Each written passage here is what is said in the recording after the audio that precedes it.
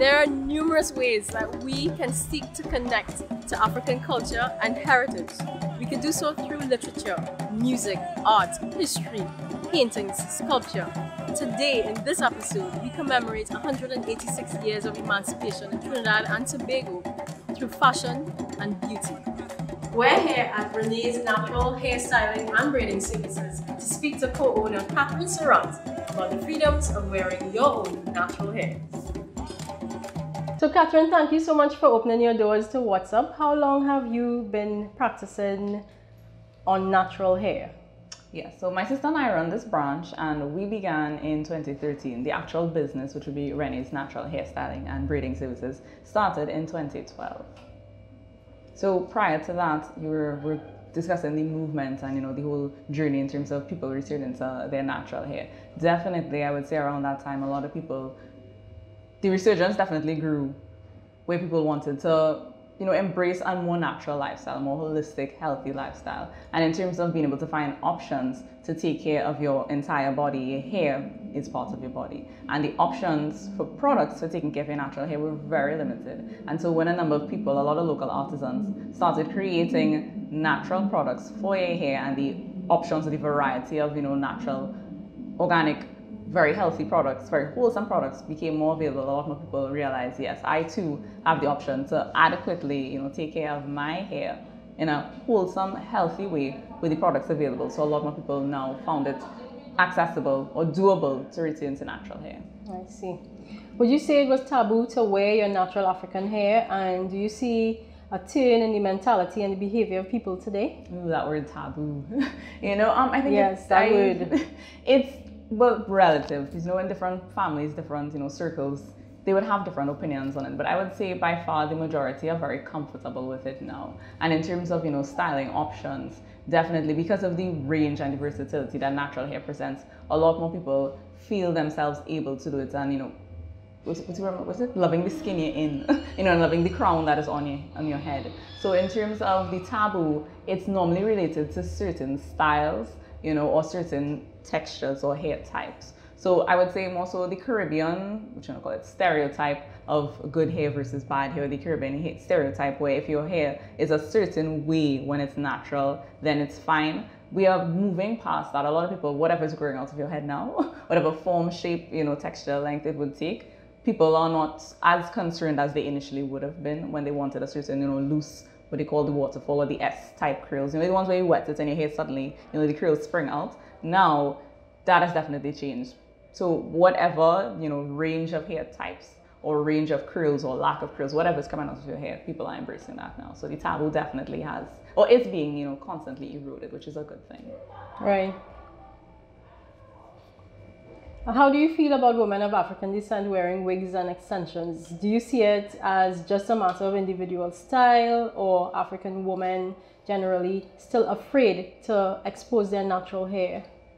Now, for us, um, generally the wigs we use, you know, extensions fall in what we call the protective styling category. So those would generally be styles intended to, you know, put your hair away for a little bit so that you would limit the manipulation. So for people who choose those styles when they're doing it, like I said, in a healthy way, that is not going to damage your hair or, you know, affect your scalp, hurt your strands, once it's being done safely, sure, run free with it. We have lots of options for those styles in terms of people who it when it's linked to your self-identity where I do not feel comfortable with what is growing from my head and so I must hide it or I must present myself in X, Y, and Z, you know, way that is not organic to me or not natural to me. When it becomes an issue of I do not like this identity or this African identity. And you have to hide it at all by all means. means. Yes. Or you have to present somebody else's version of what the you know the standard of beauty is. So in terms of like I said, the wigs, extensions, whatever, if it is a if it is one that looks very similar to your hair type, but let's say there's a little more length, a little more volume,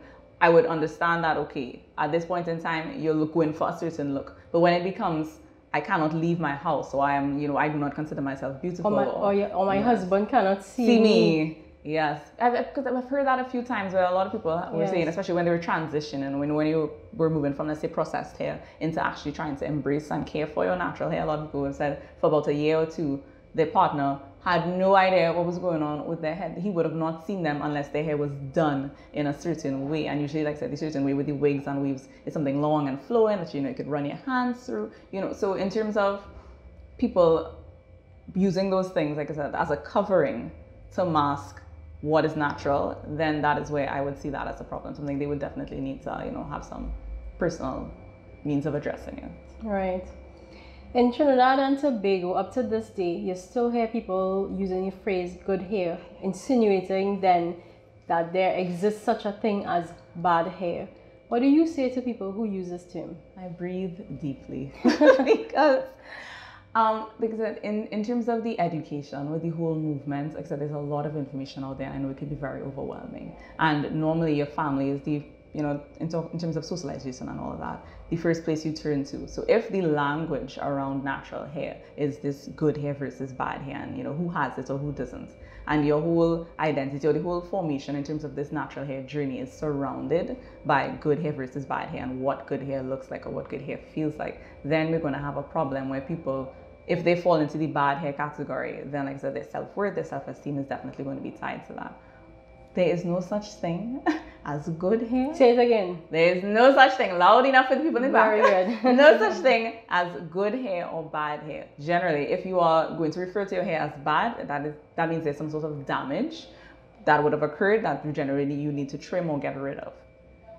All hair, all hair, all hair is good hair. And generally, we always say good hair has to be healthy hair. So once your hair is healthy, you are trying your best with what, you know, within your means to take care of your hair, then your hair is good hair. What normally happens, the, do you call it, us during colonialization, with the whole, what is it, late for school hair, and you know, people having general we call tighter coils, or more afro textured hair, then that is that wasn't desirable at the time. Everybody wanted their hair to be you know long and straight. Like I, I always mention, you know, able to run your hands through it, which is to me a very strange concept, but you know that is what was you know predominant at the mm. time. So now that you're realizing that because of our you know what you call it multicultural society, you have so many different options in terms of like I said, what they call phenotypes. You know how people physically would pre- be presented.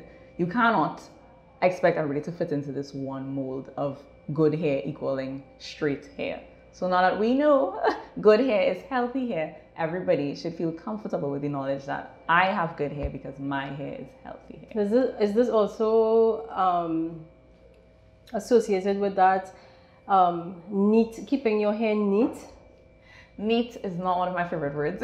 yes, you know, some establishments you could have dreadlocks if it's kept neat. neat and, and that is, I realize, what? in a lot of the policy, both in schools, you know, and in the workplace, that hair must be, you know, neat and tidy. And for me, neat is always relative.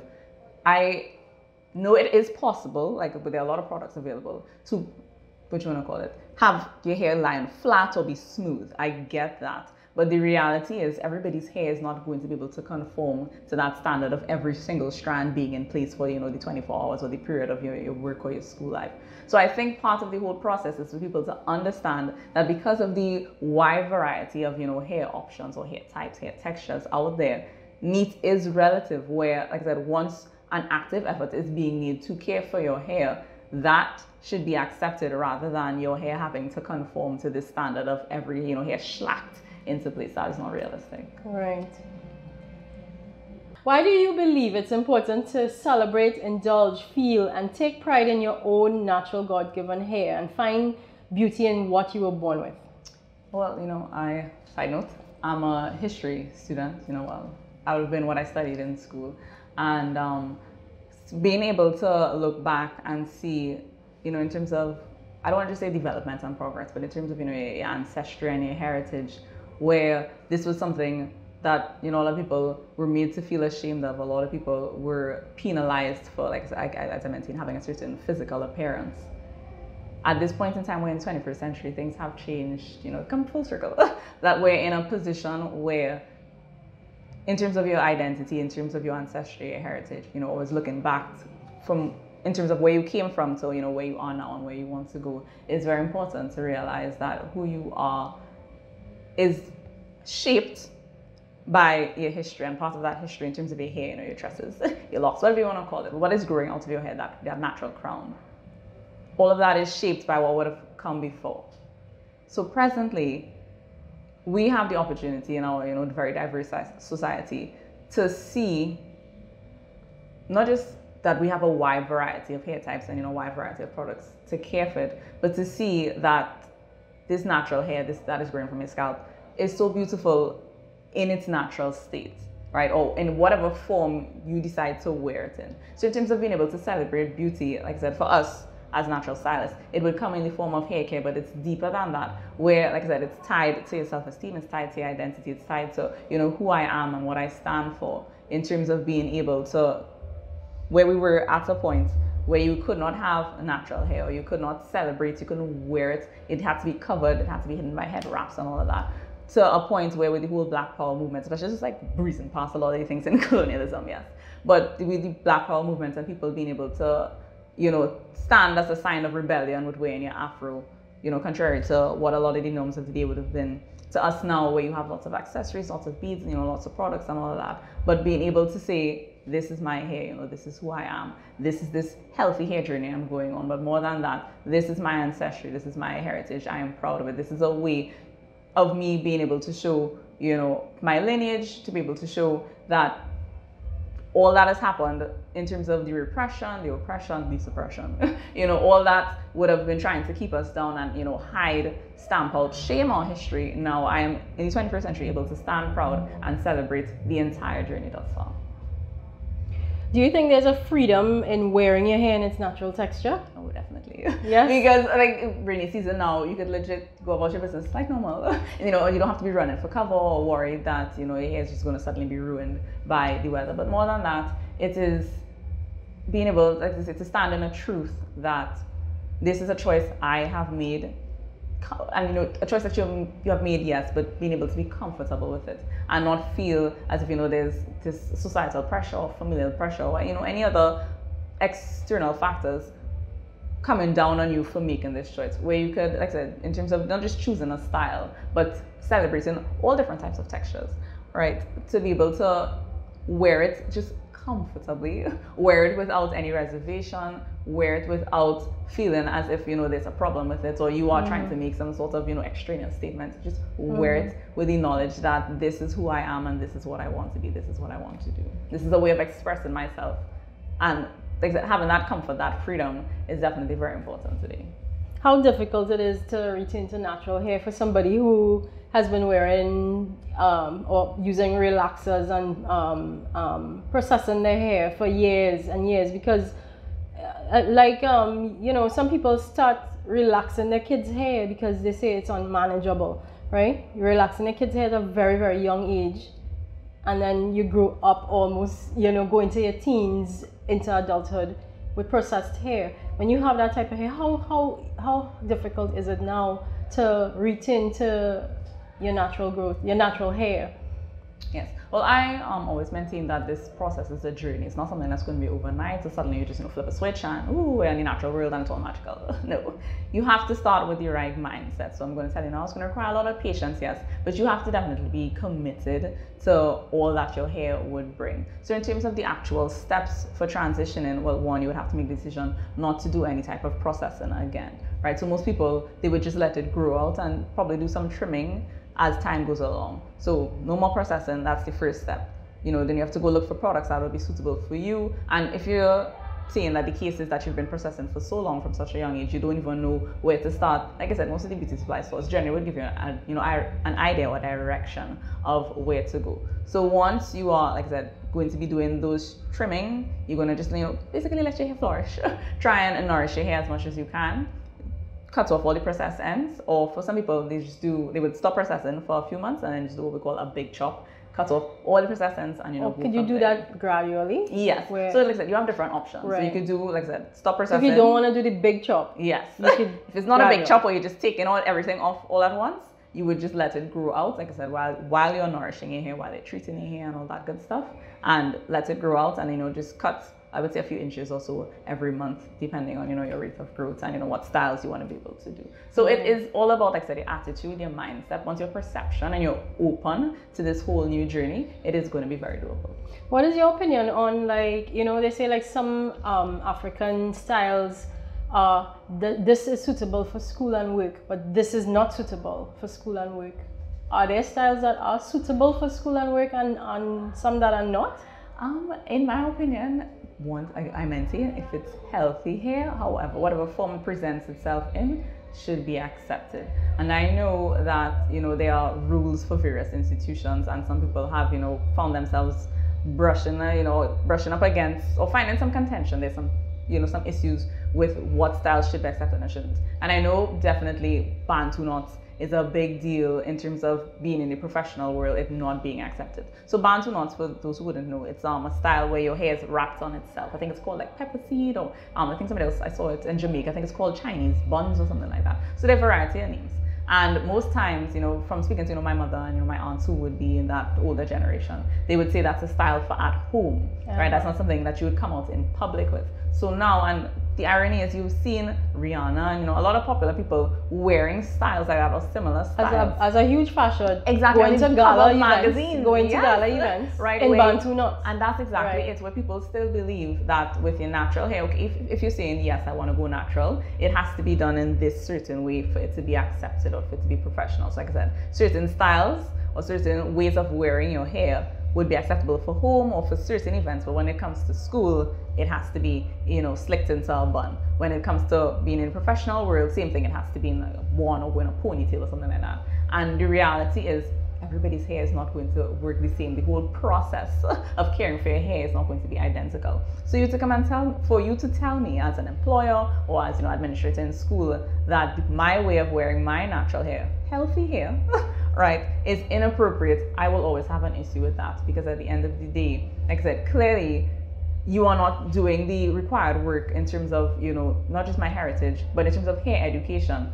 The same Bantu knots is a very big protective style. So in terms of you wanting to wear it, it is not because you know I want to make a statement or I want to come up against the rules of the school. I am not trying to be radical.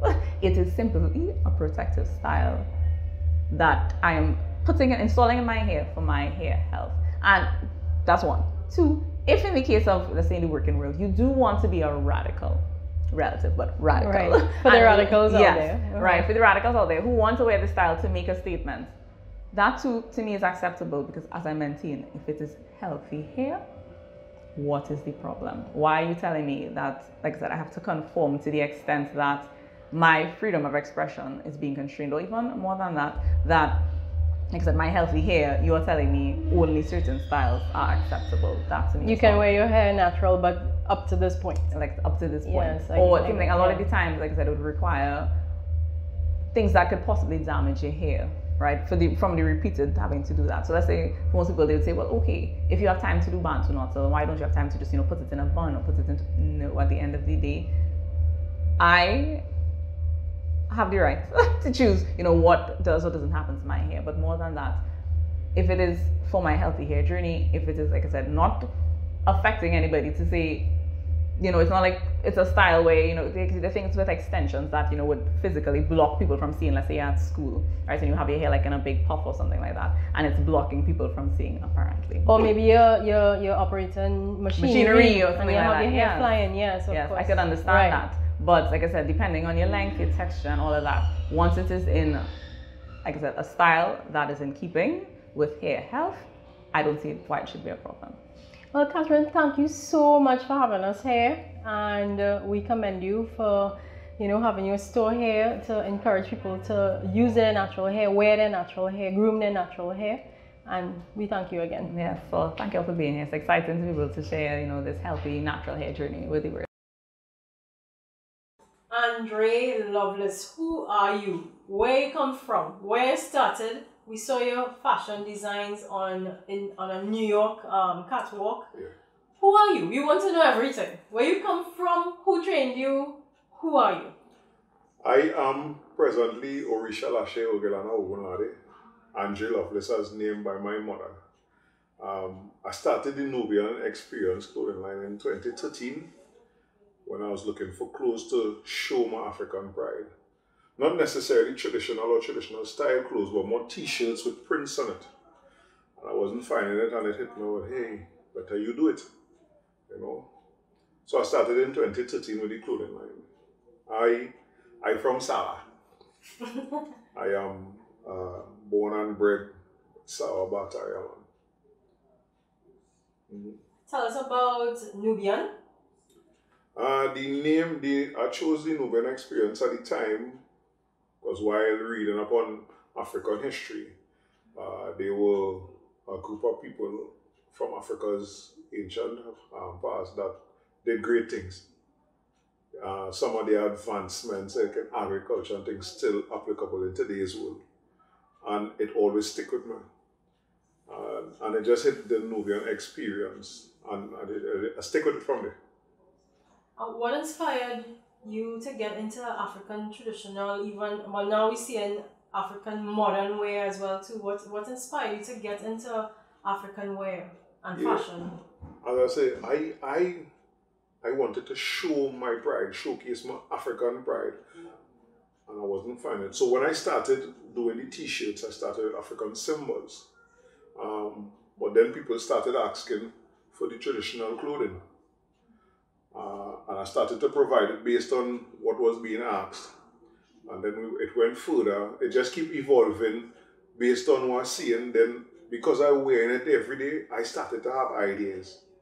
I started to do my own design, like what I have on right now. I call this the dashiki tank. So we do them either plain with African material on the ends or full but in a tank top style. So I started to produce my own ideas after a while.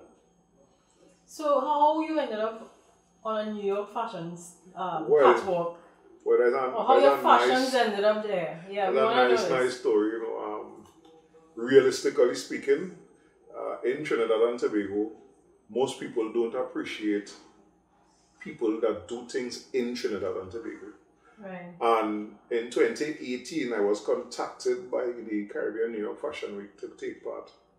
I tried, but I, I wasn't able to secure the, the funds necessary. Um, a lot of corporate citizens in the country rejected my, my pleas, you know. In 2019, they reached out to me again, and this time with the help of uh, the Black Business Network, um, we were able to to take part and the rest was history, you know. Um, it was well received, the, the clothing line was well received in New York. People actually, I'm shipping orders right now for people who thought that I would have been back there this year. Oh, right. So it was well received in New York. We look forward to going back.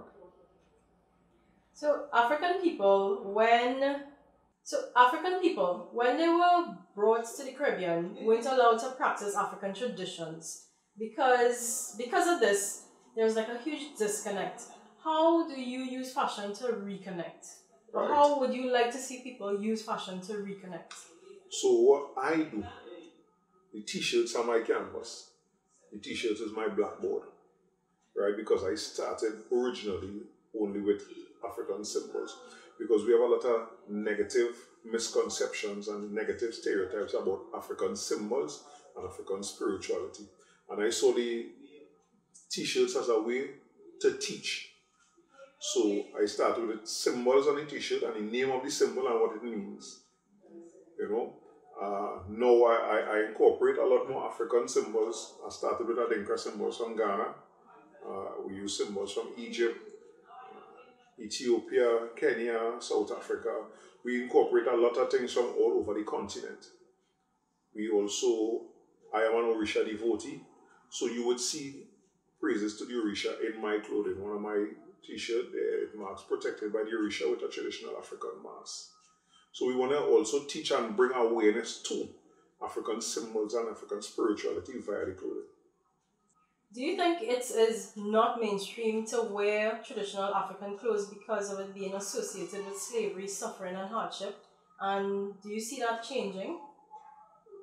Um, I don't think it is not mainstream to wear African clothing because of it's associated with um, slavery or anything like that. I think it is not mainstream because mainstream does not endorse it. We are, whether we like to hate or not in Trinidad and Tobago, a very follow fashion society. The day one of the people that we consider a celebrity wears it more than once, it will become very, very popular. We we and when we hear it, we get I when they embrace it and When they it, embrace it, yes. all of a sudden the Yes, yes, jump. you are gonna Yeah. say definitely. Yeah. Um, we tend to not think for ourselves in that regard. So it's not not just not because our voice associate. I don't think that's one of the things we run from because of that.